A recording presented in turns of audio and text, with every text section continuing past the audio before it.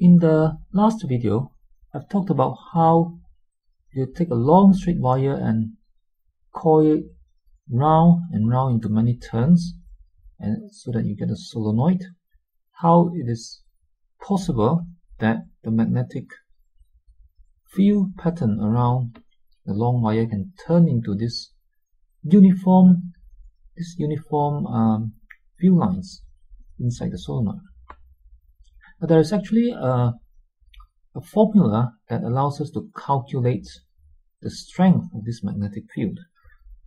Now what I like to do is to get an idea of how strong the field is if I connect uh, say a simple battery to this to this solenoid. So let, let me um, let me describe this this solenoid a little bit more so that uh, we have a better idea what we're talking about. Um, let's think about what what what are the things, what are the the factors that will that will affect the strength of this magnetic field. Let's say, um, well, obviously when the field lines come out and spread out, the magnetic field would be weaker outside. So I'm mainly interested in the magnetic field inside. I'll call that B. the magnetic field inside, I would expect that that um, that would be that would be stronger than the field outside. Now, the magnetic field B it should obviously depend on the currents. Now, based on based on these numbers here, these resistances and, and the voltage, you can use the Ohm's law to find the current. Right? If you do that, you find that the current for this example is 0.1 ampere. Yeah, I'll, I'll call that I, represented by I. So obviously, if the current is stronger, we would expect uh, a stronger magnetic field in the solenoid. What other things can affect the strength? The number of turns. The number of turns should affect the strength. Now, um, so suppose that suppose that I have 100 turns around here. Suppose that I have 100 turns of the coil.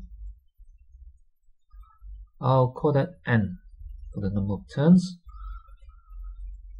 Okay, what else can affect the strength? There is some uh, one thing slightly less obvious. That is the length the length of this solenoid. Now, if you imagine that this 100 turns um, spreads over, say, a, a, a longer solenoid, uh, as we understand from the last video, each each turn in the solenoid contributes a field. And the field from all the turns merge together to give you the uniform field inside. Now if you imagine that this 100 turns is spread over a, a, a greater length, then it would be as if the magnetic field is would become more diluted right because the, the, the strength the field from each turn has to spread out over over uh, more space in between. So you would expect that therefore the, the, the magnetic field should become weaker. So conversely, if I if I squeeze this 100 turns into a smaller distance, we would expect a lot more overlap of the field from between from the neighboring turns. So therefore, they would uh, uh, they would add up and give you a, a stronger field. So that seems like a, that seems like a reasonable thought. So, so, I, so because of this, we might expect that the magnetic substance density in the solenoid should depend on the length as well. So let's suppose that for this example, the length of this solenoid is 10 centimeters. That's 0.1 meter. I represent that by L. What else is there? Um, another thing that might affect the strength is perhaps the the diameter of, of this of each turn. So um, this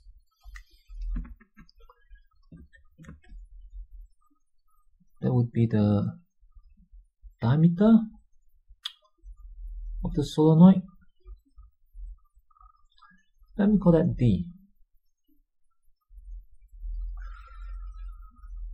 Uh, in this case let's say for example uh, that it is one one centimeter in diameter Okay, so it does not look like there are other factors involved here. Now, what I want to do now is to get an estimate for the magnetic field inside. When I connect this typical 1.5 volts to battery to it with these resistances so that I get a current of 0.1 ampere going through it 100 turns over 10 cm so something that we can easily make okay might take some time to coil the 100 turns but we can we can do that. Now there is a formula there is a formula that allows us to calculate this magnetic flux density. Now if you are watching this video for uh, to study for your A-level physics exams I don't think you would need to know this formula so but I'm going to write it down anyway in case you're interested. The formula is magnetic flux density B is equal to mu naught times number of turns times um, the current divided by the length of the solenoid. Where mu naught, as I mentioned um, maybe two videos ago, it's a constant like the just like the constant called permittivity in the Coulomb's law so we have a constant called permeability for magnetic fields. Uh, and, and, the value of that is 4 pi times 10 to the power of minus 7 in SI units. So there is actually a formula now, I'm just going to use this to quickly estimate an answer.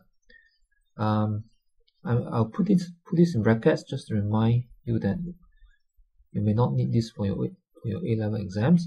So what I just want to do is to is to get an idea using this formula of the typical um, magnetic flux density we can actually get when we if we make this circuit. So if you put these numbers in, put the permeability in, that's about 10 to minus 6 if, if you calculate this. So it's about 10 to the minus 6.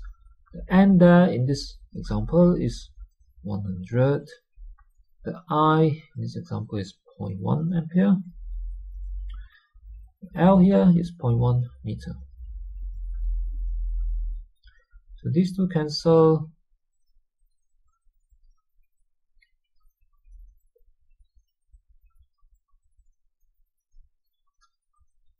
Okay so this these two will cancel. And this times this will give me um, 0 0.0001 of a Tesla. So quite a small field. Quite a small field. Smaller than uh, if you remember my examples on typical magnetic flux density from three videos ago. typical. This is this would be smaller, um, less than ten percent of the strength of say a refrigerator magnet, right? But um, but still stronger than the Earth's magnetic field. So it's that kind of that kind of strength. So nothing nothing exciting, right? Just a weak everyday magnetic field that you get. And it's probably not very useful at, uh, either if you want if you're hoping to use this magnetic field to attract something like some iron nail or even some iron filings. They would probably hardly hardly move if, if you bring this magnetic field close to any iron object. So that's uh, not very exciting, but there is actually a way, there is actually a way to increase the strength of this magnetic field. And that is using what we know about electromagnets. You know, if you take a piece of iron, you take a piece of iron, um, okay, I'll use green color to show the iron. If you put, if I put a piece of iron rod inside here, the field will increase by about a thousand times. The field inside will increase by about a thousand times. So if I have a piece of iron rod, now this this is uh, the magnetic field when it is just air. If I have just air, meaning um, no no iron rod, nothing inside, just air. But if I have a piece of iron rod, the magnetic field would typically be increased by about a thousand times. It, it varies depending on the kind of iron or steel that you use. But it's of the order of a thousand, meaning can be a few hundred, can be a few thousand. And that means that the magnetic field will increase to maybe around 0.1 Tesla. Now that's a lot stronger than our everyday refrigerator magnet. Not as strong as the most powerful magnets in the world, but quite strong and, and you can use this to attract things like iron nails, iron filings, small iron uh, objects, right? And, and will be, become very obviously uh, a piece of magnet. Now, why does this happen? Why does it's good to have an idea about about this? The thing is, if I take a piece of iron, and I'm talking about just iron, uh, uh, this is just a piece of iron that is not magnetized at first. I'm not talking about a piece of iron magnet. Just a piece of uh, iron that is not a magnet, it has not been magnetized yet. Now, even though, even though um, I get a piece of iron that's not magnetized, actually, actually, iron inside the iron, there will be it will be divided into lots and lots of small volumes right? There will be lots and lots of small volumes, which each volume is like a, is like a tiny magnet. So maybe I have a small volume here, which is like a magnet pointing in one direction, another, another volume there, magnet like a magnet pointing in a different direction, and they're all pointing in all sorts of random directions. So it's a piece of iron is like like a collection of like many many tiny magnets stuck together, sort of compacted together. Lots and lots of tiny magnets. Because they, they're all pointing in all sorts of random directions, their magnetic fields cancel. That's why it doesn't act like a magnet. It's not magnetized. But the moment, the moment you put a piece of iron rod into a magnetic field, like inside a solenoid, all of these tiny magnets which are there's actually a name for that. These are called domains. These are called domains or magnetic domains. All of these tiny magnets will will you know, will align themselves, will turn around and all point in the same direction as, as the field, just like a compass, right? Just like what a compass needle would do. They all turn around, all point in the same direction, and when all of these tiny magnets all point in the same direction, their field, the, the, the, the magnetic fields will all be in the same direction and they will all add together to give you a very strong field. That's why uh, it end, ends up that the moment you put a magnet inside, the magnetic field around here, around the in and around the solenoid, becomes increased by about a thousand times. And um, and it's this. You can also use other materials like nickel, cobalt, um, and a few other elements that are or, or alloys that are magnetic in nature. Now, while we are here, let's learn. Uh, let me just mention one or two uh, technical terms that that we would see um, maybe a bit later on when when I talk about the uses of this solenoid and, and electromagnet. Now, solenoids are very useful. They are used for transformers, for alternating currents, for power supplies, and, and it's a very important part of, of our everyday uh, life. Even though we don't we don't actually see it, it brings electricity to our house. Now, the this this coil, uh, as I've um, mentioned a few times, don't think I'll actually write down the name for for this this coil of wire. There is a proper name for it. It's called a solenoid. A solenoid. Solenoid just means that you take a long piece of wire and coil it round and round.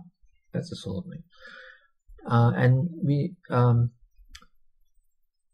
and, and, and this volume inside a solenoid, the volume inside a solenoid is called a core. It's called the core.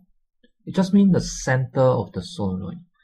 Now, uh, and it does not refer to any specific area. It just refers to the volume inside. So, for example, if there is nothing inside, if there's just air inside, we describe this solenoid by saying that it is air core. It just means that there is only air inside the solenoid. But if I put a piece of iron inside, I describe this, this by, by saying that it is iron core. Iron core. Now, there is also another way to, to say iron core, which is to use the chemical or, or Latin name for iron. We can also call it a ferrous core. That just means the same as an iron core. And we can also have steel core. Now steel is actually mostly iron but with some other elements mixed inside to make it stronger. But it makes a huge difference to the magnetic properties. Uh, if you have learned about um, temporary and permanent magnets and, and, and that we should uh, not use permanent magnet magnets in electromagnets. okay uh, because steel cannot steel can be magnetized but it's very hard to demagnetize so we would use steel for permanent magnets but soft iron right which we call maybe soft iron soft iron core can be magnetized and demagnetized easily so it's good for uh, using as an electromagnets